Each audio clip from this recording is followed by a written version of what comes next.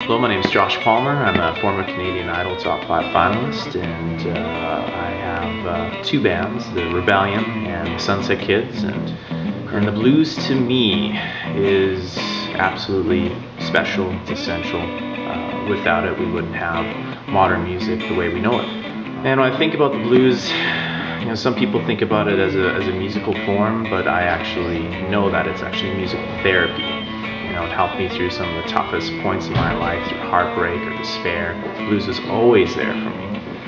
And artists like Jimi Hendrix and Stevie Ray Vaughan, they were my gods. You know, like just listening to tapes of Jimi Hendrix's Little Wing and Stevie Ray Vaughan's version of Little Wing was just just eye-opening for me. So uh, to me, blues is musical therapy, and I'm extremely thankful for it.